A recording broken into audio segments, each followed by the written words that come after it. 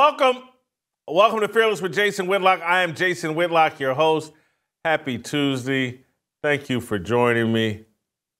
Oh, man. I'm excited about today's show.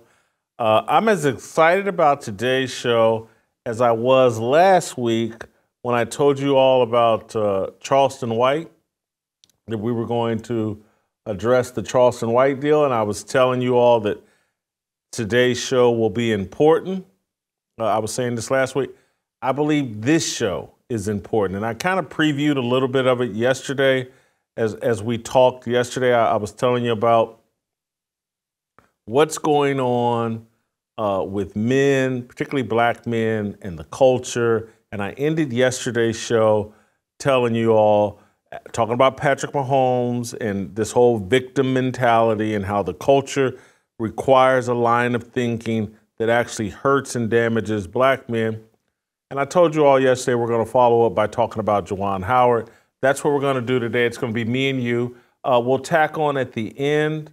Uh, we'll be joined by a friend of the show, Ken Mauer, longtime NBA referee. You guys remember Ken? He got run out of the NBA uh, for not taking uh, the experimental uh, medical trial disguised as a vaccine uh, during the COVID deal. Ken's going to be back to update us on what's going on with him and his dispute with the NBA and how we can help Ken in his dispute with the NBA.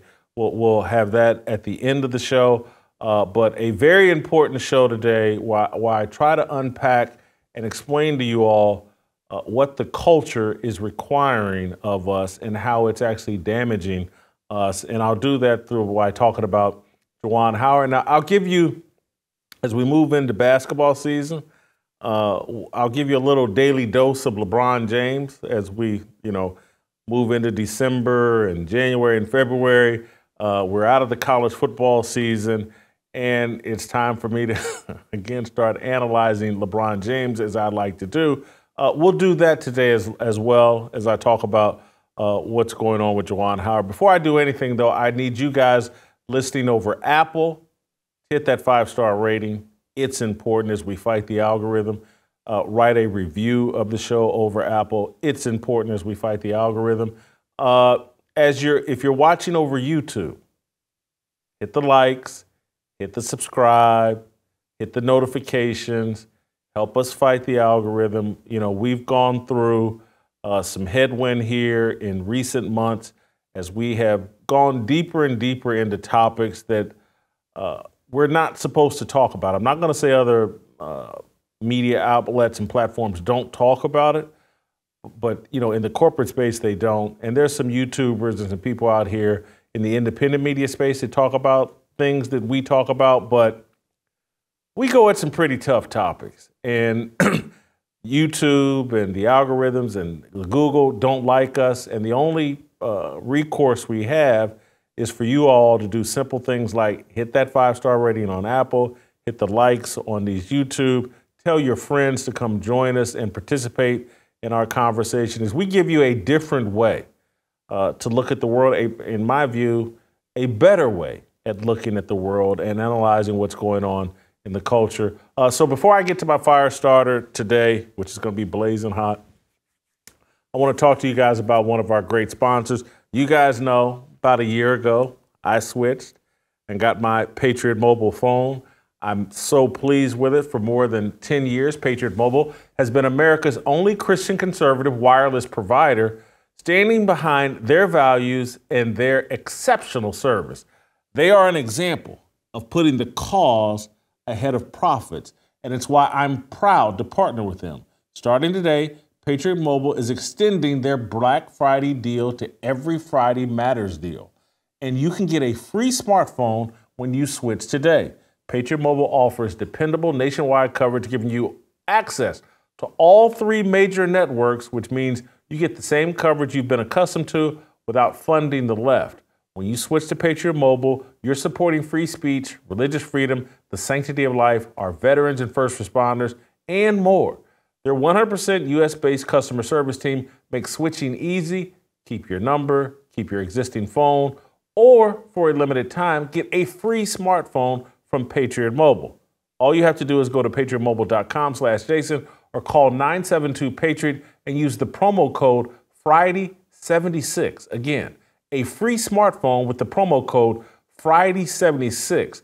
This is a limited time offer. Join me, make the switch today, patriotmobile.com slash Jason. That's patriotmobile.com slash Jason or call 972 Patriot. Guys, I know it's like, oh, it's a little bit of a hassle switching phone providers.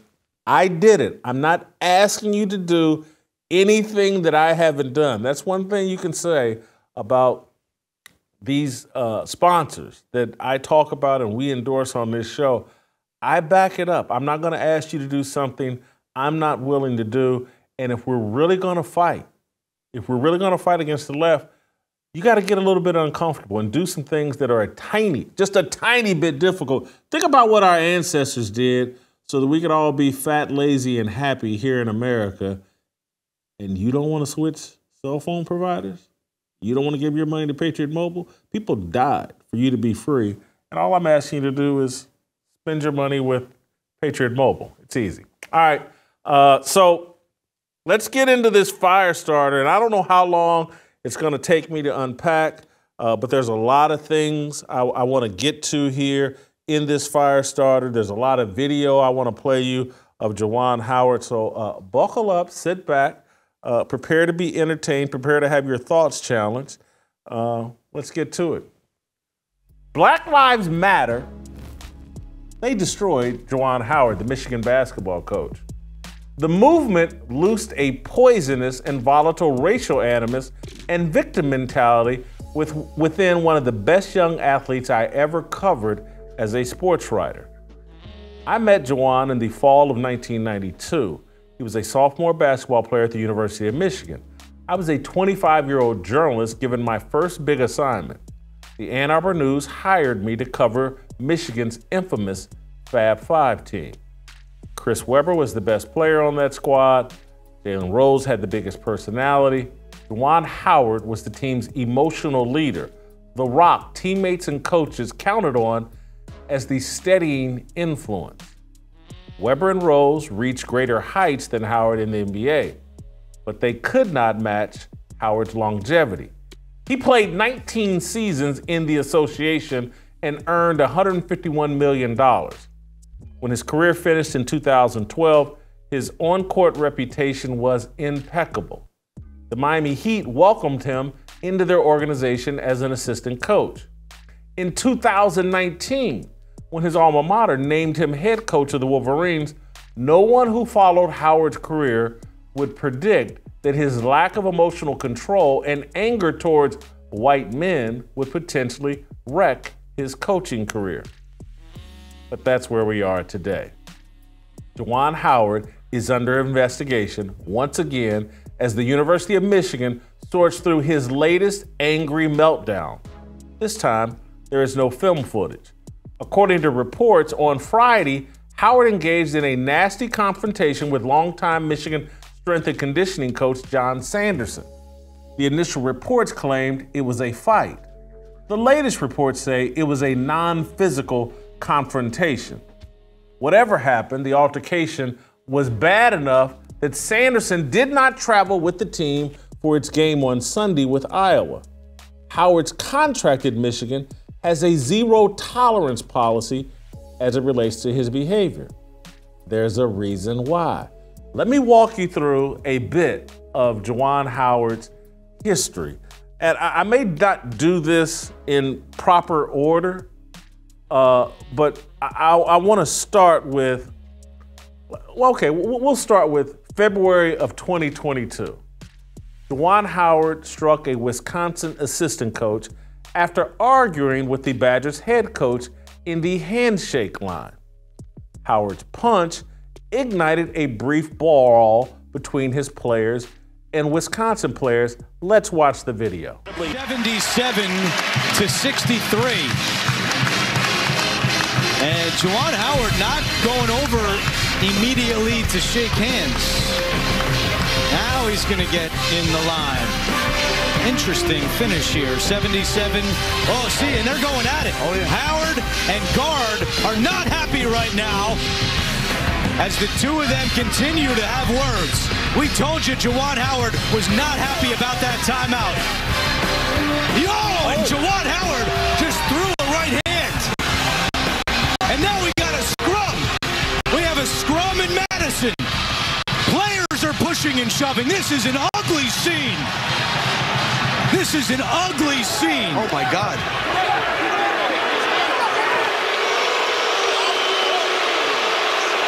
trying to get separated, and there's no doubt it all stems from the timeout by Greg Gard. Now, that's not an excuse for this, no. but that is what angered Juwan Howard, and it spilled over into this. And you saw Howard and Greg Gard nose to nose. I knew I knew he was wouldn't be happy either, but there's no excuse for this. Absolutely not. Zero excuse. Zero. This cannot happen. All right, I, I want to play you another clip. And, and, this is a guy, this is SOT number five. This is a guy breaking down what triggered Juwan Howard and how th- this timeout at the end of the game and how this triggered Juwan Howard. Let's play SOT number five. The requests wouldn't stop pouring in, so here we go. Wisconsin, Michigan. Wisconsin's up 15, trying to bring the ball up. Michigan, full court press, attacking the ball, attacking the ball. Turnover. How about that? Still Wisconsin's ball, though. This is where it all starts because Wisconsin, before putting this ball back in play, calls timeout. There's 15 seconds left. Juwan Howard's like, dude, you're really going to prolong this game and rub it in that you're winning? Wisconsin coach Here's his explanation for why he did it. I called the timeout to, to reset the 10 second call because uh, we only had four seconds to get the ball over half court. And I didn't want to put my backups, I had all my bench guys in the game. I didn't want to put them in that position of scrambling with only four seconds. So I took a timeout and it got us a new 10 seconds um, and helped them you know, get organized to get the ball in. And uh, he did not like that when he came through the, the handshake. All right, so that's what happened. That triggered Juwan Howard. That's what ignited Juwan Howard eventually throwing a punch at an assistant coach. And, and so now I want to play you because this is what was incredible. And I talked about this at the time. This is Juwan Howard, this is SOT number three, explaining his explanation of why he eventually threw a punch and why he was mad at Greg Gard and the Wisconsin team. Listen to this explanation. Were you upset that the game got extended? Oh yes, I was. You know, I I, uh, I didn't like the timeout being called, and I'll be totally honest with you. I, I thought it was, uh, you know, not necessary at that moment, uh, especially being a large lead. Um, and then for to have the timeout uh, be called with three seconds or four seconds to go, you know, I thought that that was, you know, what I felt wasn't fair to our guys. And so that's, that's what happened. Just a follow-up, if you wanted the game to get done, why keep the press on against Wisconsin's backups at that point? Oh, we was, it wasn't press. We was just five pressure defense, man to man. That's what five is for us. We're here on the left. Juwan, um, you're straight in front of you. What uh, happens between being upset about a timeout being called and raising it to a point where it looked like you hit another coach in the face? What kind of happens in between to make that happen? Well, basically, uh, you know, I addressed with uh, the head coach that I will remember that because of that timeout, and uh, for someone to touch me, and I think that was very uncalled for for him to touch me as we were verbalizing and communicating with one another. So uh, that's what ended up happening, that's what escalated right here. Yeah, I guess if you could, I guess, expand on that a little more. What what No, led I would to- not expand on it. I just Well- share with you the story, what happened. Well, as far as touching, I mean, obvious, it's obvious touching with the handshake line. There, it must have been more than that. Oh, is yeah, it you're was saying. more than that. Yeah, yeah, yeah. Touching, touching me unnecessary wasn't, wasn't cause for that when we were talking. And at, that- at that point, you know, I thought that was, you know, time to protect myself. Was there anything earlier in the game besides the timeout? I could see you. Oh, no. Uh, so that's Juwan Howard's explanation, and and at, at, at one point, he went on to say, I believe, oh, no, no, I think that's in another clip. No, no, no, this is, that's in his 2021 explanation. So just, just let me elaborate here. As I did in 2022 when this happened, First of all, uh, Juwan Howard is totally discombobulated. It wasn't pressure. It wasn't press. That's what we call five pressure. He, he, has no idea what he's talking about, what he's doing. They were doing a press against Wisconsin scrubs, and he's shocked that the man would call a timeout instead of allowing Wisconsin scrubs to get the ball up court and enjoy their 15 seconds on the court. LeBron, I mean LeBron, Juwan Howard is using a full court press, trying to extend the game himself, then gets triggered and snaps on Greg Gard and then throws a punch at an assistant coach. And he's saying he's protecting himself because someone touched him. And so, what I said at the time, uh, Juwan Howard does this full press conference. He's thrown a punch that ignites a melee where his coaches and, Wisconsin, and uh, where his players and Wisconsin players are throwing punches back and forth at each other. And Juwan Howard at no point apologizes, acknowledges that he's wrong, acknowledges that he sparked this. He doesn't walk it back. He sits there with an arrogance of, I did nothing wrong, someone touched me, I threw a punch, and I sparked a melee, an ugly incident. I did nothing wrong. And I said at the time, it's it's it's not the punch that should get Juwan Howard fired. It was the post-game press conference where he has no clue he's done anything wrong.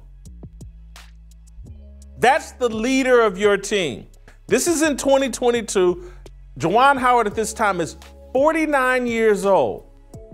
He throws a punch in the face of an assistant coach at Wisconsin. He has no idea he's done anything wrong, goes through a press conference smugly, arrogantly questioning anybody that questions anything about him. This guy's in over his head. He's so consumed with anger, he's not even aware of what he's doing. He's not a leader. I pointed this out in real time in 2022. The Big Ten ended up suspending Howard uh, for five games, the rest of the regular season, and then they let him come back and coach uh, in the postseason tournament. That was all the punishment he got for an incident that should have gotten him fired. Not the incident, the fact that he's so clueless to the fact that he ignited the incident, that it was a horrible look for him, that he had something to apologize. It took him several days to reach that conclusion. That's not a leader, that's not a head coach. But no one at Michigan should be surprised. Because let's go back, let's rewind the clock to 2021. In March of 2021, Howard sparked an ugly confrontation between himself and Maryland's head coach at the time, Mark Turgeon. It took four or five people connected to the Michigan basketball team to restrain Juwan in this incident. This is March of 2021. Play the clip. Well, we had big time fireworks while you were away. Technical on Mark Turgeon, a double technical on Juwan Howard, who has been ejected from this game. And he was incredibly animated. But Turgeon remains. He just had one technical. But here is what happened. You See Juwan Howard starting to yell out something at the other side, and then there was some jawing back and forth between he and Mark Turgeon. Look at this. I mean, it, it got really testy, Sean.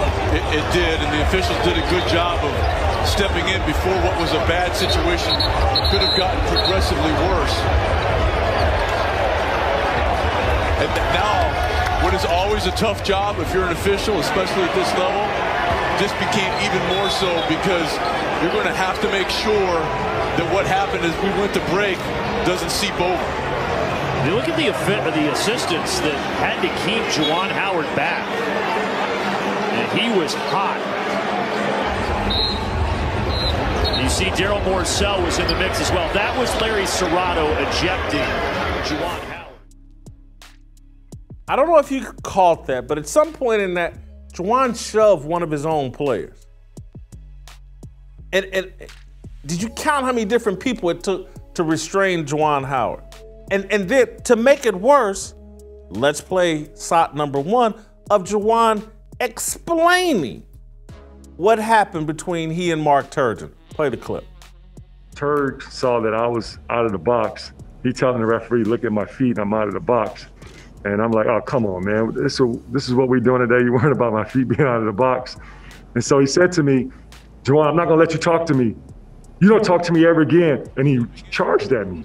You know, I don't know how you guys uh, was raised, but, you know, how I was raised, you know, by my grandmother and and also by Chicago, because I was raised by Chicago and I grew up in the South Side. When guys charge you, it's time to defend yourself.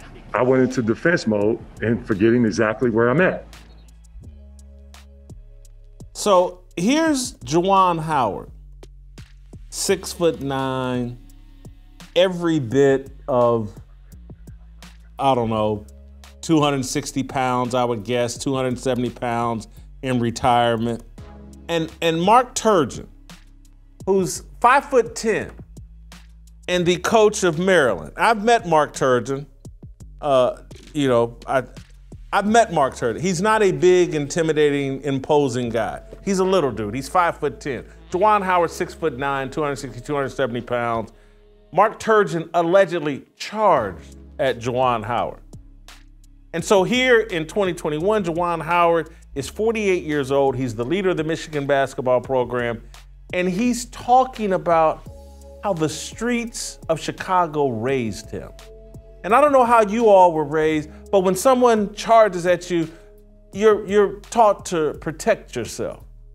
This is the head coach of a major university, a grown man, claiming to have been raised by the streets of Chicago.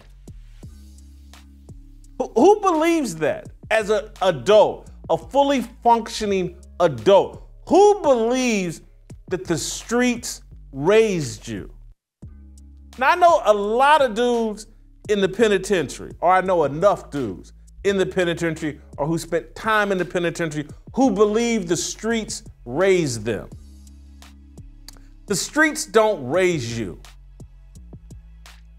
They parents raise developed, groomed. Juwan's grandmother was most involved in his life. The streets neglect you. The streets infect you. The streets lead you on a path to straight destruction. Nobody 48 who's been put in a position of power should believe they were raised by the streets. No one should be talking about, I took my code of ethics and my values and principles from the streets of Chicago, from the streets of Des Moines, Iowa, from the streets of Mayberry, North Carolina. It doesn't matter the streets. It doesn't matter the community, white, black, whatever. If you're an adult running around believing you were raised by some street or some neighborhood or some city, you're an idiot and you're not qualified to be a head coach. Those are the facts. So you have that in March of 2021. Then you come back in 22 and he has these problems with Wisconsin. And again, that's why I was just like, hey, there's a pattern here. This guy is clueless. We listened to his explanation after the incident with Maryland in 21. Then we listen to his explanation in 22, and his explanation, it makes no sense. He has no idea what he's doing. This is a man who believes he was raised by some streets and he needs to instill that in some more young people, those values. And that that's the response. There's a problem here. In December of 22, just a small incident. Here's Juwan getting into it with a referee. Now, again, white referee here, Juwan Howard getting into it. His players are having to restrain him and pull him back. Mark Turgeon, little white dude, he gets into it with. Greg Gard, head coach of Wisconsin, little white dude, he gets into it with. The, the coach, the assistant coach that he struck at Wisconsin, white dude. This season, Juwan Howard has yet to coach a game for the Michigan Wolverines. He's recovering from heart surgery in September. Despite only acting as an observer so far this season, Juwan Howard has managed to get tossed from a game. Can you believe that? With his team playing poorly against Texas Tech, Howard argued with referees as his team exited the court at halftime. He received two technical fouls and was ejected. And so, and then Howard's incident with John Sanderson, white guy, reportedly revolves around a dispute about the rehabilitation of Howard's son, a member of the Michigan basketball team. Juwan Howard, if he were a former football player at any level, he played football at Pee Wee level, let alone the NFL level. Everybody in the media would claim he's suffering from CTE.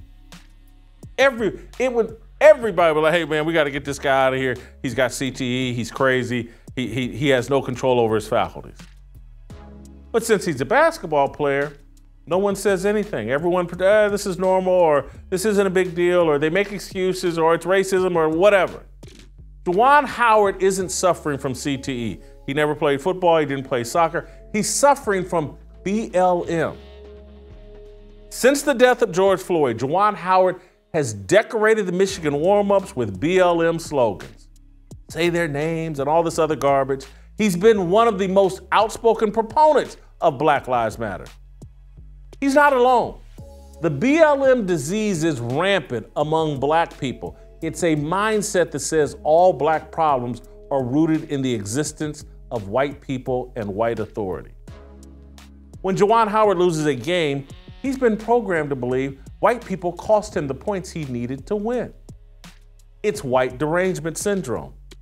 Academia, corporate media, and the high profile race hustlers academia and corporate media promote have brainwashed black people into believing white people are God and control the destiny of black people. As a black person, if you do not believe white people control your destiny, academia, high profile race hustlers, corporate and social media will smear you as a sellout. Your family and friends will join in the smear. White derangement syndrome is a mass psychosis crippling black men. I've watched it with my own eyes destroy Juwan Howard. 30 years ago, Juwan Howard was one of the best young people in all of sports. In high school, he was part of the National Honor Society. He was homecoming queen, king. He was president of his high school senior boys council. He was mature, steady presence on the highest profile college basketball team of all time. He declared for the NBA draft after three years in college, but circled back to complete his degree in communications alongside his classmates. For two decades, NBA teams sought his leadership and intangibles. He was groomed in Pat Riley's system. What happened? Juwan Howard lived the American dream. He worked hard and used his God given talents to elevate his station in life. From the age of 12, the basketball world wooed Howard and provided him financial, educational, and emotional support. Why is Juwan Howard so angry? White derangement syndrome. It requires black people to ingest and spew racial animus. That animus drives you insane and takes a toll on your physical health. Howard is an elite athlete who needed heart surgery at 50. Anger is unhealthy. So is a constant feeling of dependence. Since the rise of social media, black people have been programmed to view the world through the lens of race. It's called being woke. Our ancestors were, for lack of a better description, asleep. Or were they? This generation is locked in a self destructive trance. We have abandoned our ancestors' values for the values of the secular. Our ancestors fought for a society that evaluated life and people based on a set of agreed upon biblical principles and values. Their fight led to freedom and progress. White derangement syndrome leads to insanity and lost opportunities. Juwan Howard is an unreliable and volatile leader because he doesn't even believe he's in control of his own destiny. He thinks he's a victim. Victims make terrible coaches. Michigan is looking for an excuse to fire Howard that will allow the school to avoid being called racist. It's the same exit strategy Michigan State deployed to get rid of its football coach, Mel Tucker. So, Juwan Howard, anger problems, they symbolize the insanity of Black Lives Matter. That is my fire starter. I'm going to add on to it because I, I want to be crystal clear. The reason why I'm leaning into this is because it's not just Juwan Howard. It, it, it's, it's virtually all of us. Th- this whole BLM psychosis that we've bought into, this mentality is crippling us. Crippling us. You think it's empowering you at the workplace. Yeah, I got white people over a barrel. They feel so guilty. Uh, they're afraid to fire me. Uh, they're going to promote me to, to prove that they're not racist. And, and, and, and, and let's say it works. Let's say that's why Michigan hired Juwan Howard. And, and so he's had four or five years to be the head coach. He's now going to leave in disgrace. He's destroyed himself. He's blown the opportunity that was given to him. He had a chance with all the support that Michigan was going to surround him with and all the efforts they were going to do to try to make their alum a success. He's blown it all. He's put a clown suit on himself and the University of Michigan. His reputation is destroyed and in tatter, in, in, in tatters. All because, and I'm telling you, I watched this guy. This is not the same guy that I met in 1992. It's not the same guy that I watched go through an NBA career. He was not this angry. He was not this volatile. He was not this triggered by white people. He is now.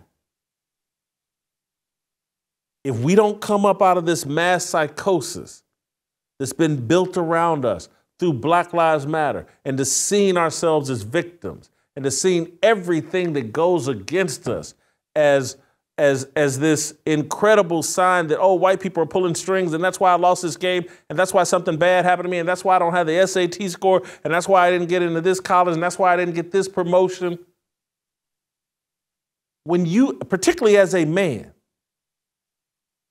when you don't see yourself as the ultimate solution when you don't see yourself as the controller of your destiny in partnership, you need to be working in partnership with God. Knowing, hey, if I partner with God and do the proper steps, I'm going to be a success. If that's not your mentality, if you think others are in control of your destiny, you've basically cut your own balls off. You've emasculated yourself. You've signed up for a level of insanity that looks exactly like Juwan Howard. Any adversity, and you snap, and you start striking out, and you're controlled by your emotions. You have zero emotional control because you don't hold yourself to any standard because you're not responsible for your own destiny. Again, when you surrender all that and see how white people are in control of everything, you're, that means you're in control of nothing, not even yourself. And that's what we see repeatedly from Juwan Howard. He's not even in control of himself. He's given that up. He surrendered that to whoever his white gods are. You can call me a sellout, but the BLM crowd, they're the actual sellouts. I actually believe in myself. I actually don't think white people are my God are, and are in control of me. I don't think that, that black people are inferior and in need of lower standards in order to achieve. I, I try to be an example that, like, things here in America were pretty simple. Uh, and again, they've made it this big, complicated mess. But as you listen to me tell the truth about myself, and I'm telling I don't exaggerate, I'm not exaggerating, I'm just telling the truth about myself. You don't need a 1400 on the SAT to have success here in America. You need to show up on time and be accountable and responsible. That's pretty much it. Work hard. That's pretty much it. Show up on time. Present yourself in a way that says you have a level of professionalism and, and responsibility about yourself. And you can achieve great things. I had a 900 SAT score. I graduated Ball State with a 2.23 GPA. I, I, my dad didn't graduate high school. My mother was a factory worker. There was no, I, I had a tiny bit of athletic privilege for a time. It got me, and thank God. And I'm not, I don't want to diminish it because not everybody can get a Division One football scholarship, but I had enough football talent to get a Division One football scholarship. But I didn't have much else. And I look around at my group of friends, and some of them had higher SAT scores than I did for sure, but not all of them. And some of them, you know, parents were married, some of them, their parents weren't. But I look around at my group of friends, and all of all they did was show up and be responsible. And they made some mistakes, but they corrected those mistakes. And I'm talking, I got a large group of about 10, 12 guys that I either went to high school or college with that I remain in contact with. And they're all successful. And, and none of them, oh, Todd Fennell, don't be upset with me. We call Todd's family the Huxtable family. But everybody else, you know, Todd's parents were both college graduates and in fraternities and sororities or whatever. Dad was an educator. And, but Todd, I love you. And but everybody else came from a little less idyllic background than Todd. Some of them, Caswell Dawson, whew, I don't want to put Kaz's business out there, but you know, Kaz is from the hood in a real, real way. Successful. Just because he, he, had a, some character and a work ethic and was willing to show up on time. That, that's all this world really requires. Anybody that's telling you something different is lying to you and wants you to see yourself as a victim and wants to hand you an excuse. Frank Barnes I do got to admit, Frank. First time I visited my boy Frank, we were in college. I visited his parents' house. I was like, because Frank always used to love claim he's from Chicago or whatever, but that was one of the nicest houses I'd ever been in when I went to go visit. anyway, but I, am just, and, and I'm going to bring LeBron James into this as I transition a little bit. But before I do that, uh, I want to talk to you guys about uh, my favorite sponsor. You guys know I love preborn. As the left ramps up their efforts to abort babies, it's time to ramp up our efforts to save babies. Why not include saving a baby's life on your Christmas list? And because of our partnership with Preborn, an organization that has rescued over 270,000 babies, you can do just that. Every day, Preborn's network of clinics rescues 200 babies and they compete head to head with the abortion giants. You see, they offer an abortion minded woman a free ultrasound. Once she meets her baby for the first time and hears that heartbeat, her baby's chance at life more than doubles. For just $28, you can save a life. And now, through a match, your tax deductible gift is doubled too. And because preborn supports both mothers and babies with diapers, car seats, counseling, and more for up to two years, you're offering double blessings. Now is the time to put your year-end write-off write-offs to work. Just dial pound 250, say the keyword baby. That's pound 250, keyword baby. Or go to preborn.com slash fearless. That's preborn.com slash fearless. So I want to bring in Deion Sanders into this conversation. Uh, I'm not Deion. I can't believe I just said that. I want to bring LeBron James into this conversation, and I because this victim mentality and and how it just baffles me that LeBron James could be blessed in the womb and, and given these God given gifts that are incredible and born into difficult circumstances. A single mother doesn't know or have a relationship with his father, born into poverty.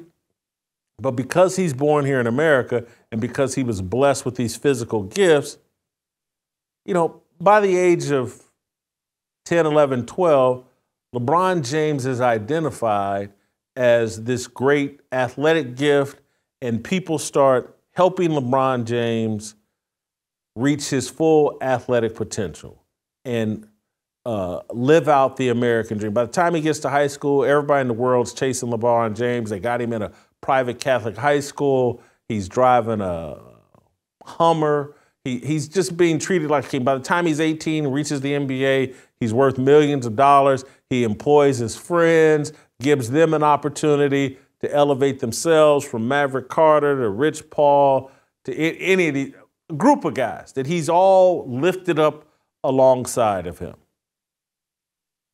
But because of this racial victimization mentality that is pervasive in our culture, LeBron James walks around and pretends to be angry and mad at the world and pretends like he's a victim and put on the little press conference a few years ago about, oh, they spray painted the N word on my $20 million mansion that I wasn't even at. And, and so I want to play a video. Now, here's his son, Bronny James Jr., who suffers a cardiac arrest that jeopardizes his college basketball career. And so here's LeBron walking in. Uh, Bronny played in his first game this weekend for USC, what, six, seven months after suffering this cardiac arrest. This is a day of great gratitude and thanks. Man, I'm wealthy. I live in one of the greatest countries with some of the best doctors in the world. And my son got the medical support he needed. And he's now back out on the basketball court chasing his dreams. What an incredible day of gratitude and thanks and just an overwhelming feeling of like, whoo, life has been good to me. Here's LeBron James, and, and do we have the audio of this? Because LeBron James walks into USC's game where his son's about to make his first uh, court appearance, uh, on court appearance, and they're playing the national anthem. And LeBron James has to go on with this cosplay of he has no respect for the national anthem. And so he walks in while they're playing the national anthem and then sits down on the front row while the national anthem is still playing. Let's I th- let's play the clip. And uh, the clip.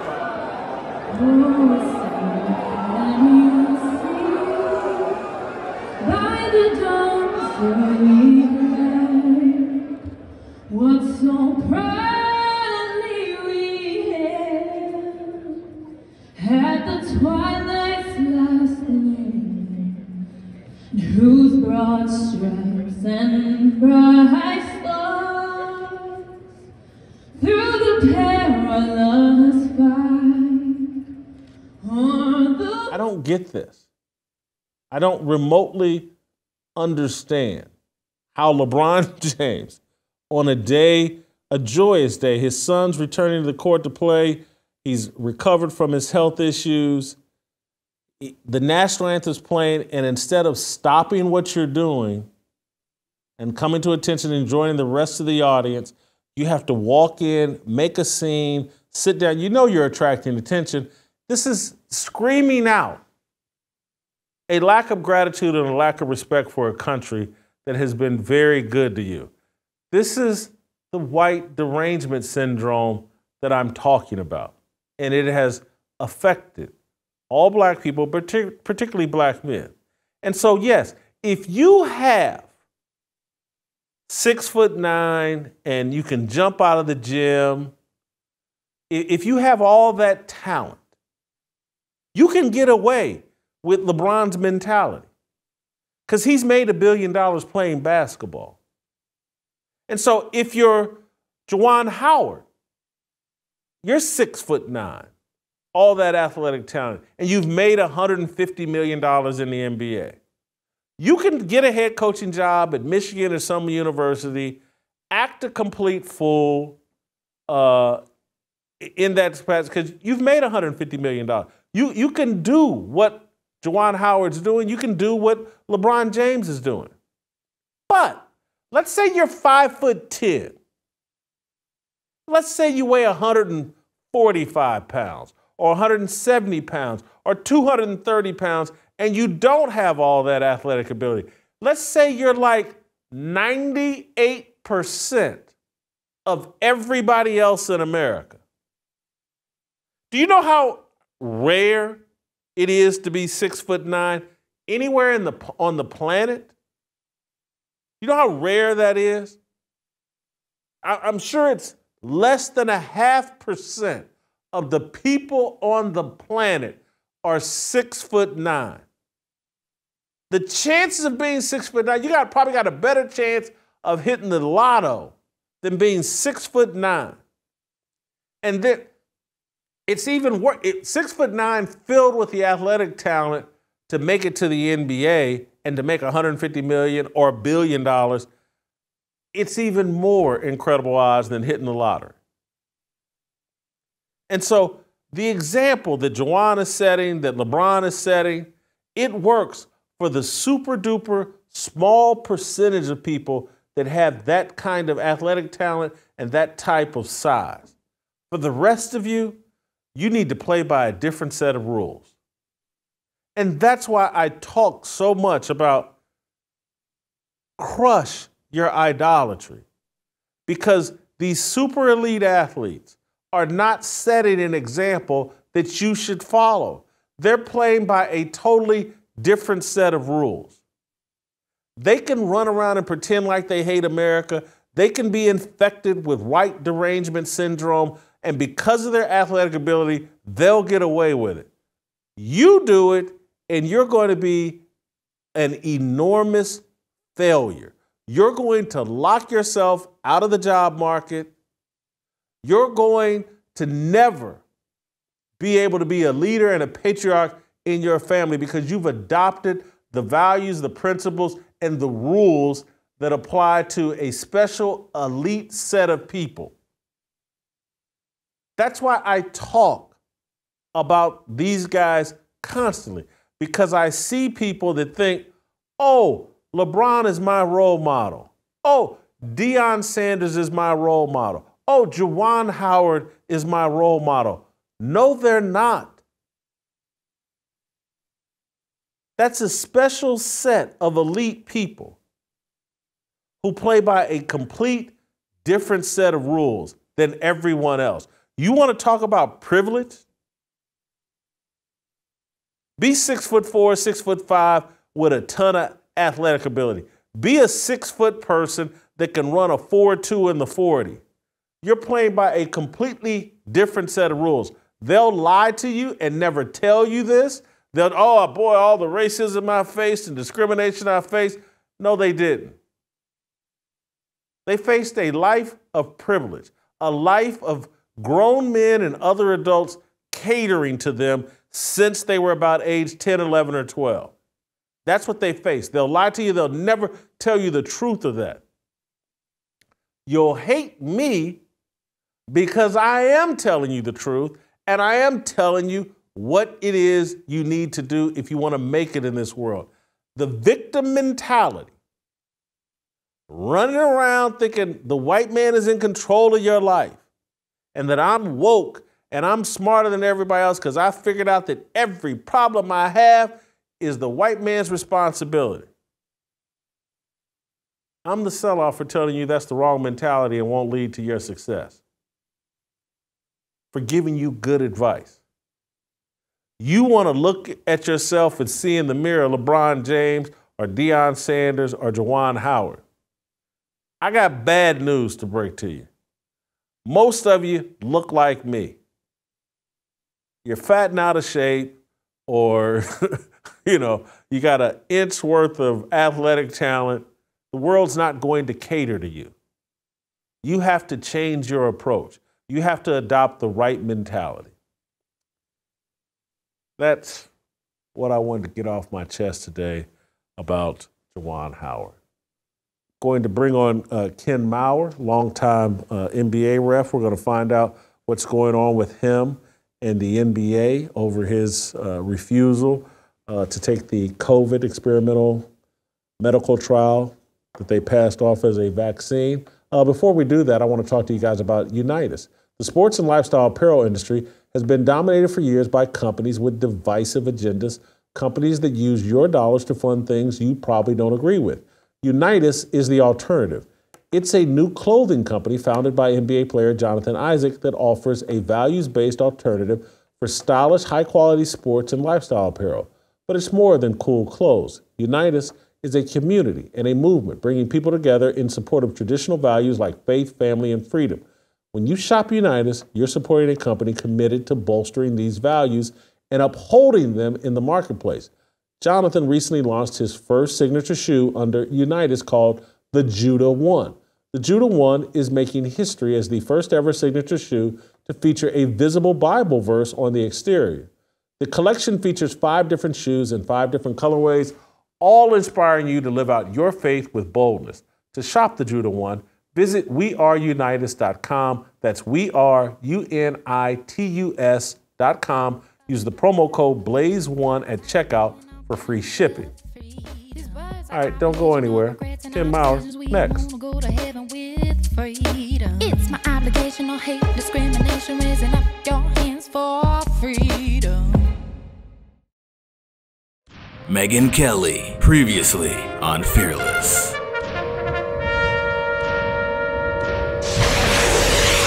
occasionally Bill Maher will mock the left while putting a button on making sure that the right is the real bad guys. But all of these comedians, to me, leave so much meat on the bones. And I think it's a very savvy move by the Daily Wire and Jeremy and, and Ben, just like, no, we're going to take this layup. We'll, we'll, we'll take this easy money. There's a whole audience out there that's dying for this type of content, and we'll give it to them. Yeah. And you know what the truth is? It, most of these people on the center left, they feel exactly as you and I do. They're just way too afraid to say it.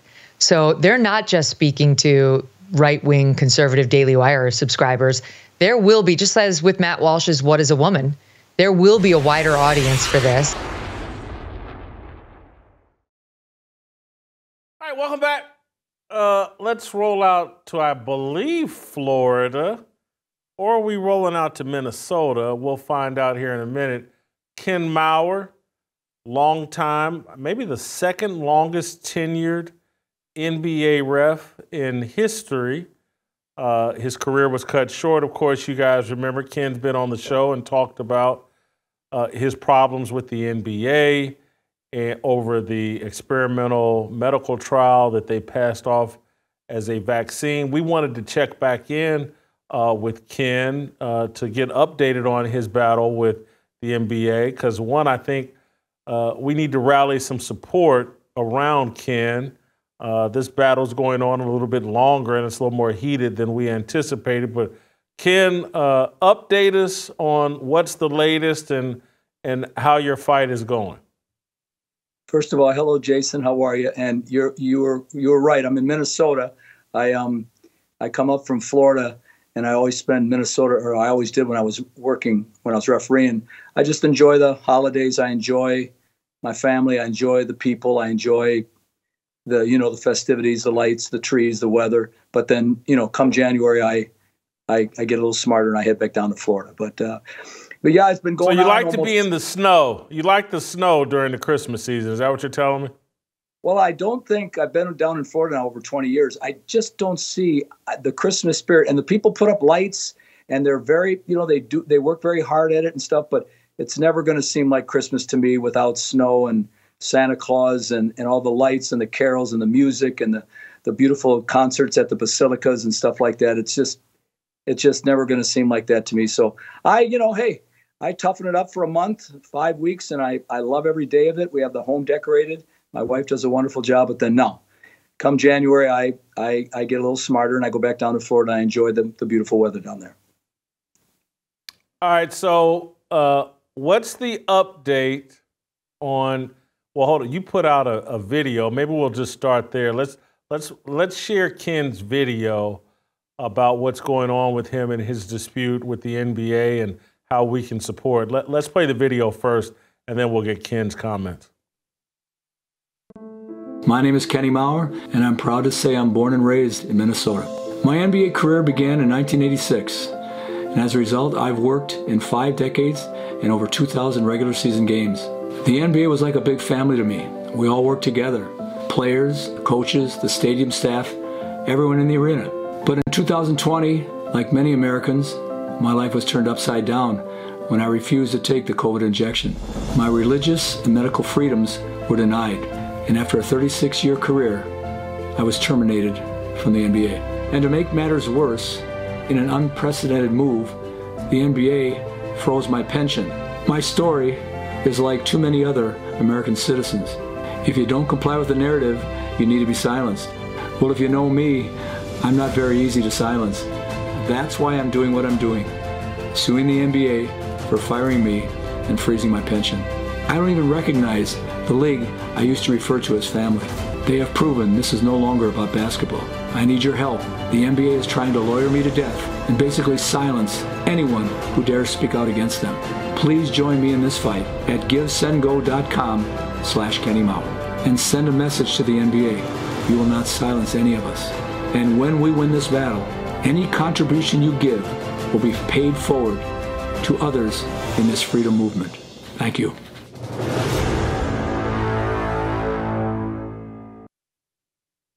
givesend.go slash Kenny. Don't forget the Y. Oh, once I put Kenny in, the, the Mauer popped up automatically. Maybe I've already been on here. Uh, Kenny, what is uh, the latest uh, with you and your fight with the NBA? Well, first of all, Jason, uh, I'd like to briefly explain why I did this. Um, I, I, wasn't going to do it, and for the longest time, I didn't. Um, I've already gone through my 401k. You're right, the NBA uh, refuses to release my pension. They cl- claim that the the judge may put me, may reinstate me, where I don't believe the NBA has any any intention of reinstating me anyway. So it's it's kind of like one part of the NBA is saying one thing on one lawsuit, another part of the NBA is saying another thing on the other lawsuit. Though I have no doubts that they both know what you, what each other's doing. So I, you know, I mean, lawyers' fees. Come on, you you you understand. People that are listening, you understand. I mean, I have wonderful lawyers. Believe me, I do not mind paying my lawyers. They're doing a, a wonderful hell, hell of a job. But um, you know, attorneys' bills sometimes go over hundred thousand dollars a month, and so you know, you wonder why people don't do this, why they don't stand up to the big bad wolf. And believe me, I totally understand. So I met a, became friends with a guy by the name of Senator Jensen, Scott Jensen, a, a, wonderful guy, ran was a senator here in Minnesota, ran for governor against Walz and lost. What a shame! But um, he, he, I lunched with him one day, and he said, "Kenny, I don't want anything to do with you know GoFundMe. They've gone in and taken money out of people's accounts because they didn't believe in the narrative. So I don't believe I, I want nothing to do with that organization." But he said the one of the men who started GoFundMe, I don't know if you knew this, Jason, but started Give Send Go. He's a Christian man, so this is a Christian-based organization that works to try to help people that are Christian based that that and others that are fighting certain fights. So he said, Kenny, he said, you know, I think people want to help. They want to. I've been at functions, Jason, where I was at, I was at a function the other day and I spoke with Senator Johnson here in Minnesota, it's Senator Jensen here in Minnesota, and a little old lady came up to me. I mean, a little lady came up to us after the show and gave Senator Johnson and I five dollars and said, "God bless both of you. Please keep up. Keep, please keep the fight up for all of us." Now, that hit home with me. I mean, I, I don't get emotional very much, but I went, I didn't know what to say. I didn't know what to do, and she just walked away. So Senator Jensen said, "Ken, people want to help you. They want to do, and people have helped me."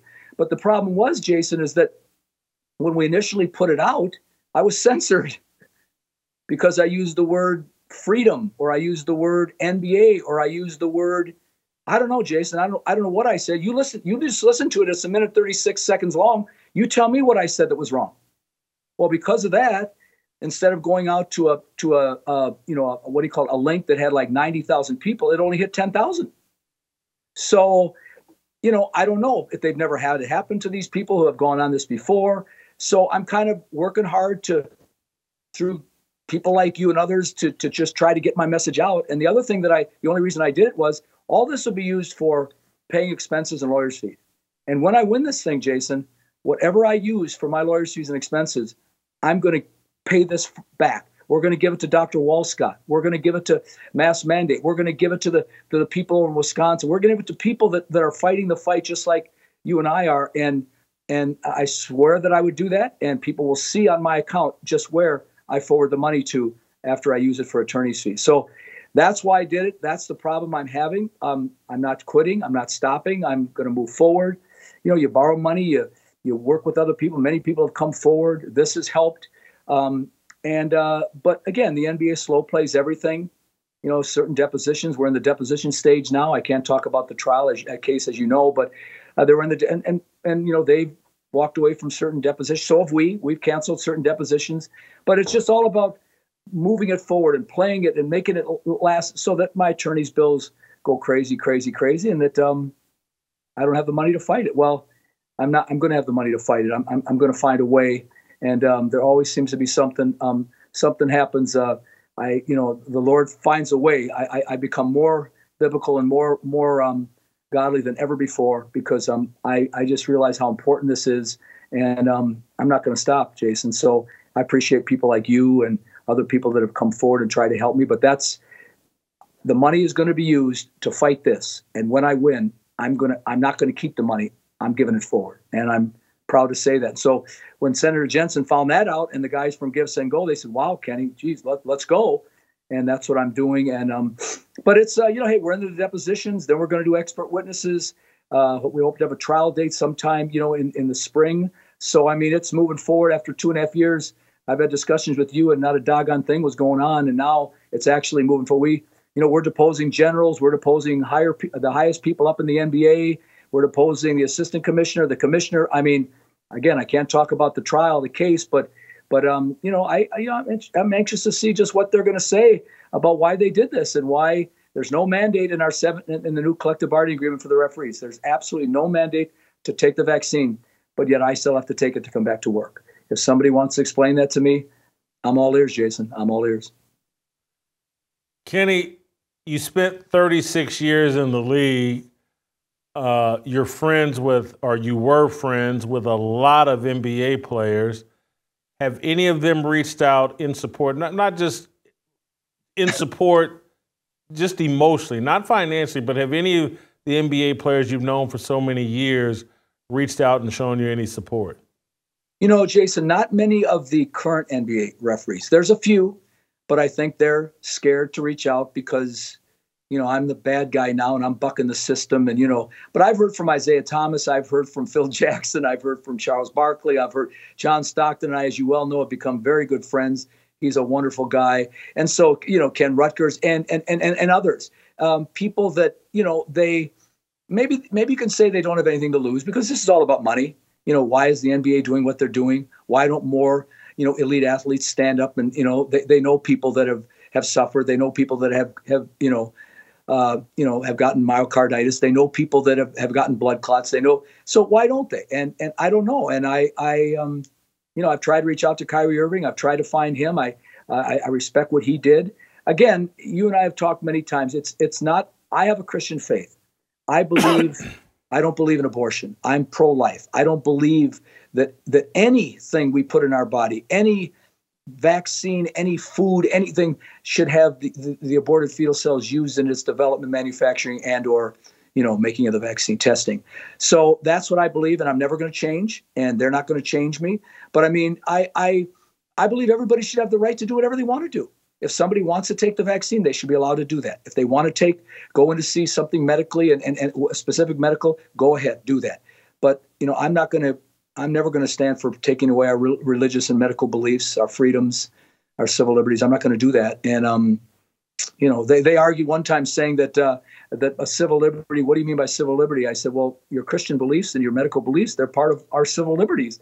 And they argued about that. They look for anything they can to try to find fault with me. I'm a bad guy now, you know, and so. Um, but I don't care. We've all fought that, haven't we? And um, I uh, I'm meeting some wonderful people boy, I'm meeting wonderful people. They're coming up to me, or I get emails and I get texts, and I speak. One day I spoke in front of 10,000 people in Alexandria, and seeing these people, they just, they really, it, it's, it's, they really want people to, to educate them, to help them, to, to um, help them not have to give up their freedoms. And a lot of them can't fight it because they don't have, you know, the wherewithal. I'm just fortunate that I have dear friends that are helping me.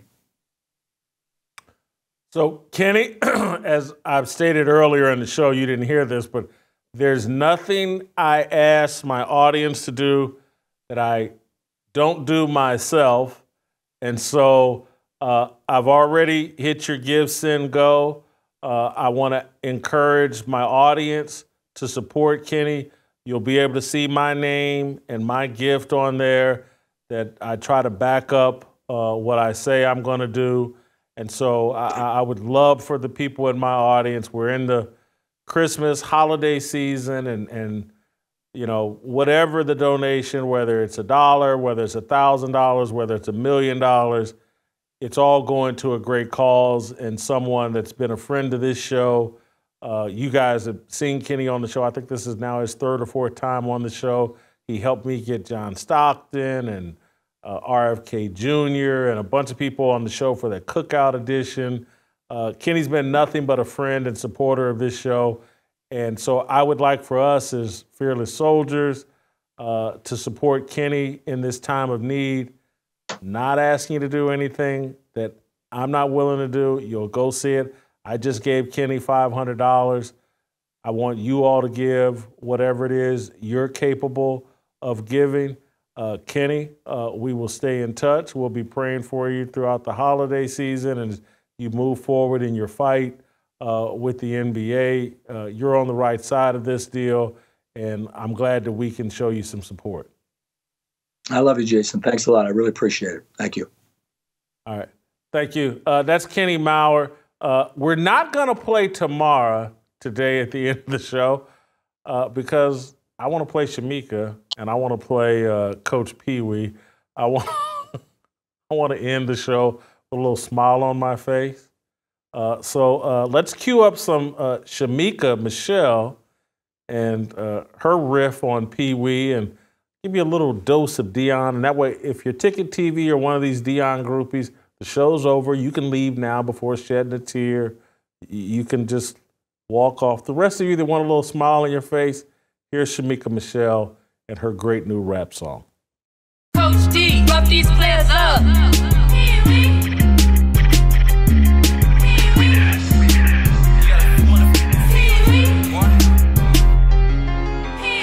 If you see me, then you know it's about a bug. Not about my players, I don't give a. I'm the big dog, should do my little pug. Diamonds on his wrist, and he hold it up. When I holler Pee Wee, that mean I suck. Manipulate my players, then I get them stuck. Take the corner back for a Colorado Buffs. Do you believe that? Nope. We ran out of love. I'm 56, acting like I'm 30. Worship me like an idol, cause I'm worthy. Drop rose for a snow hose, wasn't pretty. Overplaying Travis Hunter, did him dirty. Should do a crying daddy, why they hurt me? Setting sack record sight, getting blurry. Players decommitting, coaches start to scurry. Run into the transfer portal in a hurry. Your favorite black coach, I do no wrong. Get them wins up, or I won't be here for long. Call them ghetto rappers to get us in the zone. Who ready? I'm ready. Now play my theme song. If you see me, then you know it's about a bug. Not about my players, I don't give a. I'm the big dog, should do my little pug. Diamonds on his wrist, Sandy, hold it up.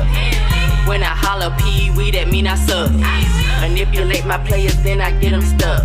Take the corner back for Colorado Buffs. Do you believe that? Nope, we ran out of love. Call me Coach Prime, yeah, I'm the chosen one. Double threat in my time, touchdown, home run.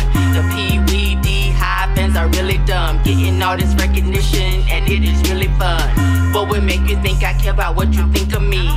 I got teams running scared, Coach Pee Wee. Started from the bottom, and then we won three. I did this without them, cause it's about me. Your favorite black coach, I do no wrong. Get them wins up, or I won't be here for long. Call them ghetto rappers to get us in a zone. Who ready? I'm ready. Now play my theme song. If you see me, then you know it's about a bug. Not about my players, I don't give a. I'm the big dog, should build my little pup. Diamonds on his wrist, and he hold it up. When I holler Pee we that mean I suck. Manipulate my players, then I get them stuck. Take the corner back for a Colorado buck. Do you believe that? We ran out of luck.